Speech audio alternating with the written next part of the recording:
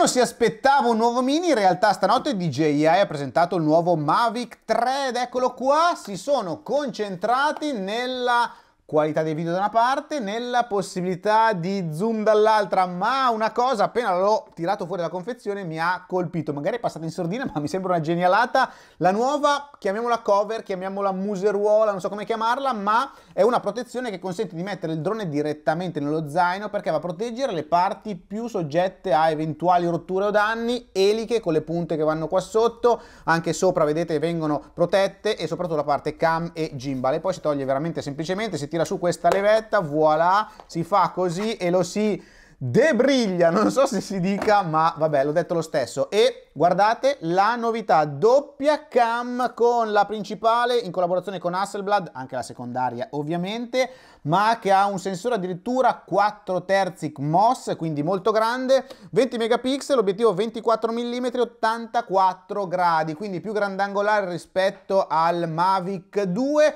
mentre abbiamo una seconda cam qua sopra che è uno zoom addirittura 163 mm la lunghezza focale, eh, però il sensore è un po' più piccolo ed è da mezzo pollice, vuol dire se prendiamo la 24 mm come uno per un 6,7 75x di zoom, um, però interpolando riesce ad arrivare anche a 28x direttamente mentre si è in volo. Poi le altre caratteristiche sono simili al Mavic precedente, ovviamente la forma, il peso 900 grammi, forse un pelino più leggero, un pelino più piccolo, ma veramente inezie. Quello che cambia sono i sensori perché 1, 2, 3, 4, 5, 6 cam sono grandangolari e se andate a sviluppare la sfera creano praticamente una bolla attorno al drone che va a rilevare gli ostacoli e grazie al chip più potente è implementato il nuovo Active Track 5, il Master Shot, il wifi più veloce, wifi 6 per scambiare dati più velocemente, scaricare i file più velocemente attraverso lo smartphone e poi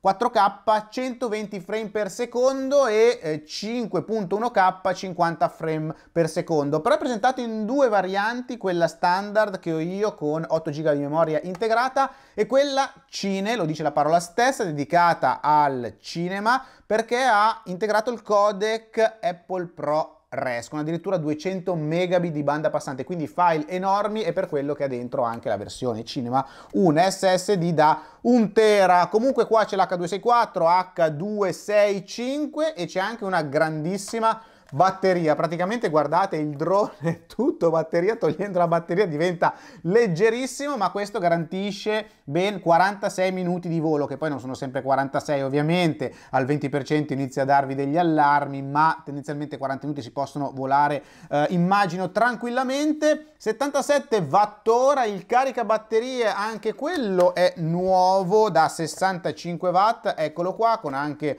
uscita USB standard per caricare il radio comando e poi in confezione abbiamo i soliti cavettini adattatori tipo C, USB micro e um, Lightning, gli stick di ricambio per il radiocomando. La tecnologia è sempre quella proprietaria di DJI, leggermente migliorata, porta il segnale, la portata a 12 km in uh, CE. Qua soliti stick che si possono togliere, il radiocomando appunto classico lo conosciamo, ma adesso direi subito prova sul campo. E ci siamo sfidando la pioggia. In realtà fortunatamente abbiamo una finestra di cielo non dico sereno ma quantomeno senza pioggia. Joe alla guida così possiamo vedere effettivamente come ci segue. Novità le eliche hanno un materiale leggermente più morbido come sentite meno rumoroso del Mavic 2 e niente Joe io vado tu mi segui facciamo un po' di footage.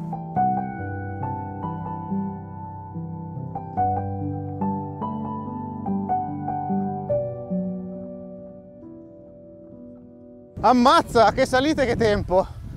Vento, qua staremo un bel 30-35 km orari, però guardate la stabilità, lui è certificato per volare e rimanere stabile fino a 50 km allora, ma adesso proviamo lo zoom che è la grossa novità, quindi lo facciamo volare, visto che qua ci sono delle colline, delle montagne, degli alberi, delle chiesette molto interessanti, proviamo a vedere questa nuova 6.75 per che è una novità interessante. Io ho sempre amato le versioni zoom perché ti consentono di non andare vicinissimo ai soggetti. Pensate degli animali degli uccelli non disturbarli non farli volare via ma comunque fare riprese fighe. Vai Joe decolla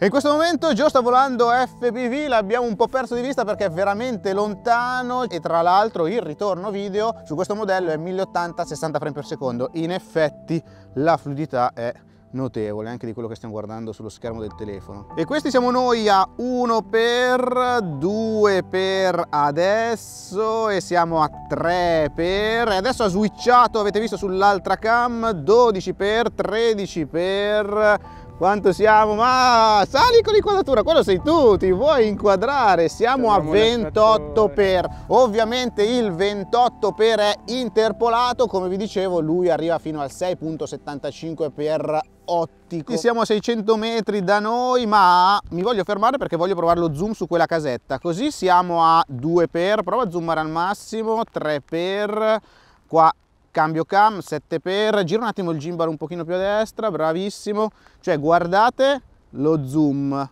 13 per comunque qualità ancora decisamente buona fino al 28 per che è il massimo. Zoom al massimo e questa è la uh, estensione massima dello zoom. Perde un po' sgrana un po' poi voglio scaricare i file e capire quanto effettivamente sgrana ma guardate che ripresa riusciamo a fare. Torna 1 per con il drone che comunque è a metà strada tra noi e quella collina là. La collina sarà circa un chilometro e mezzo, noi siamo a 600 metri, vedete quello che vi dicevo, cioè consente di non andare vicino al soggetto ma comunque di riprenderlo in primo piano, tanta roba lo zoom. Stiamo tornando un po' velocemente perché la batteria è al 39%, 46 minuti di volo comunque sono tantissimi. Adesso abbiamo messo in sport per tornare più velocemente, stiamo arrivando con questo vento a 19 metri al secondo di velocità, più o meno 70 km all'ora, giù di là. La risoluzione massima si può raggiungere solamente quando è abilitata la cam principale, perché quando abilitiamo anche lo zoom si abbassa, vedete, e al massimo si arriva al 4K 30 frame per secondo. Ma quello che mi ha impressionato è, guardate, questa bolla che si crea attorno al drone che ci dice gli ostacoli che ci sono. Come vedete vi dà anche le distanze ma a 360 gradi. Adesso è rosso solamente in un angolo perché c'è un ostacolo vicino. Se mi avvicino io diventa rosso, vedete, la zona e il settore dove è, sono io quindi sente gli ostacoli proprio a 360 gradi. I sensori sono veramente fantastici. Lui avrebbe l'Active Track 5 che però non è ancora abilitato a livello firmware, arriverà l'aggiornamento tra qualche settimana che è una figata perché, e vi sto facendo vedere il video istituzionale di DJI che lo spiega, riesce a tracciarci, a evitare ostacoli, alberi e anche se noi passiamo tra gli alberi la traccia intelligente riconosce il soggetto, non è come una volta che spesso capitava sui droni precedenti che passando dietro a una collinetta, un albero, a un ostacolo perdeva la traccia, lui la mantiene e quello che fa o quello che promette di fare è incredibile. Lo proveremo dopo che l'avrò aggiornato. Ed eccoci di ritorno, mamma mia che freddo, tra l'altro questa non è una recensione ma prime impressioni proprio perché il firmware non è definitivo, l'applicazione è la classica DJI Fly, vi faccio vedere le opzioni, L'assistenza quando incontra gli ostacoli si può settare per un bypass automatico proprio dell'ostacolo oppure eh, si può far fermare se c'è l'ostacolo o si può anche disattivare e volendo potete anche schiantarvi contro gli alberi. Um, il ritorno automatico, bello il fatto che con tutte queste telecamere riesce a uh, capire 200 metri avanti al drone cosa succede, quindi ritornare automaticamente anche lì evitando ostacoli. Vi faccio vedere i comandi generali e poi le impostazioni della cam. Qua molto importanti, può registrare in 10 bit, D-Log, formato codifica H265, H264, vi dicevo la versione Cine può anche avere il ProRes di Apple e poi bitrate costante o variabile, qua vi faccio vedere tutte le altre impostazioni, ovviamente anche la trasmissione settabile sui 2.4 5 GHz o meglio doppia banda, così fa lui automaticamente, sceglie anche il canale più libero da interferenze e come um, gira i video. Beh, l'avete visto? Direi decisamente bene, anche se mi riservo anche qua di dare giudizi definitivi, visto che il 4K a 120 con questo firmware non lo fa. Ma una cosa che mi è piaciuta è l'effetto bokeh naturale, poi, poi giocando con lo zoom questo effetto può essere anche amplificato. Mi è piaciuta anche la manovrabilità del drone, avete visto la resistenza al vento, super, anche la stabilizzazione del gimbal, come al solito da quel punto di vista DJI veramente non deve imparare da nessuno. Cosa non mi è piaciuto? Il salto, avete visto, notevole quando si va a zoomare tra lo zoom 1x, 2x, 3x e poi c'è quel gradino fino al 6x. E poi anche il fatto che se non utilizzo lo zoom posso girare alla massima risoluzione, ma se vado a utilizzare lo zoom posso registrare solamente a risoluzione e frame rate più bassi, beh, quello non mi è piaciuto tanto, anche perché quando uso l'1x comunque uso la cam principale, però è anche vero che durante la registrazione non posso fare neanche un salto di risoluzione e di frame rate. Tutto il discorso riguardo normativa, transponder, eccetera, eccetera, lo lascio ad altri, questo non è il momento, sede giusta, ma di parlare dei prezzi sì, è il momento della sede giusta. Non costa poco, 2099 euro, questa versione con una sola batteria, però avete visto dura veramente tanto. 2799 la versione combo, quindi con tre batterie, il carica